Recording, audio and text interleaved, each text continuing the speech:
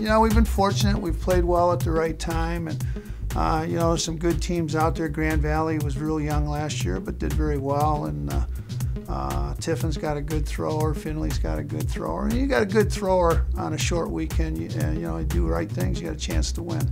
Sure, we'd love to come back and uh, you know be successful again, but we have to wait and see what happens here.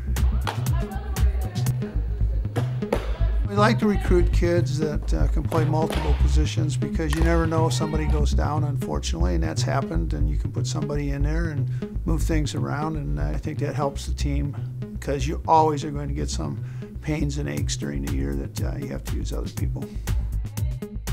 Lindsay's a great thrower. She's had some opportunities to pitch for the Canadian national team, but anytime you get a pitcher like that, you have a chance to win every game. And uh, obviously, when you do that and soft, fast pitch softball, if you can put, uh, I always say Godzilla on the mound, you got a chance to win everything. So you got a chance to go all the way.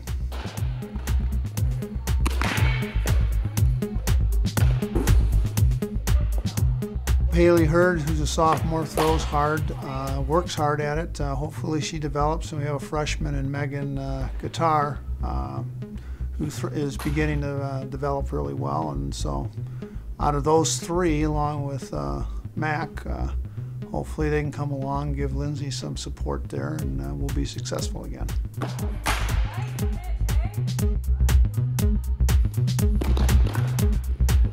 Shelby Spano would be our DP. Uh, Shelby uh, always has crunched the ball, even in high school, and uh, so she's going to get her opportunity. We have a freshman named uh, Hannah, uh, and uh, Hannah's pretty good, and, and, so is Gabby. So we've been playing Gabby a little bit at first base. Gabby, will, Gabby will see shortstop, and so will Hannah. We have, Hannah's our future, and and she's a very very good athlete.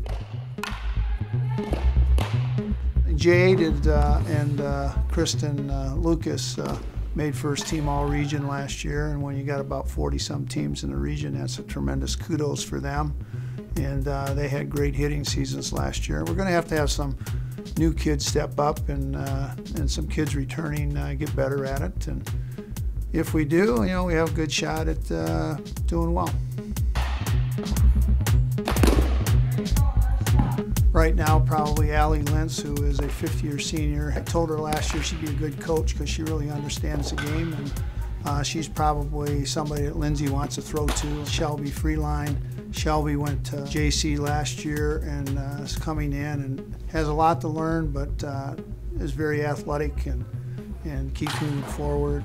I love love of the game and love the kids. I mean, yeah, have an opportunity to see kids mature and uh, develop into good, upstanding adults and move on in life, that, that gives me a lot of pride.